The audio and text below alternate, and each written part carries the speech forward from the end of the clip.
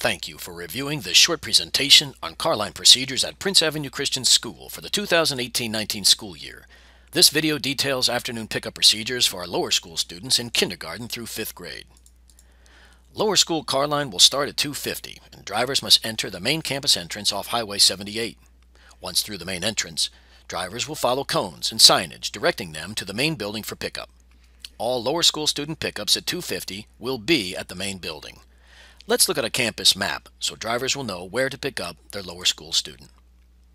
Drivers will enter campus using the main entrance off Highway 78, located here, and will follow the signage leading them to enter into one of two car lines, located here.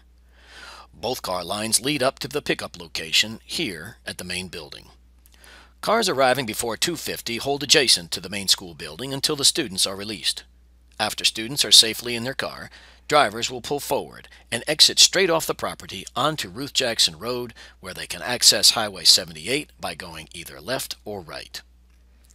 One commonly asked question by lower school parents with additional students in middle school and high school is, can I pick up my lower school student at 250 and then my middle or high school student at 325? While we prefer to keep your lower school student on campus and release all your students at one time, you may pick up your lower school student at 250. In order to do this, you'll have to re-enter the middle and high school car line using the main entrance on Highway 78. Thank you in advance for your help and assistance with our car line procedures.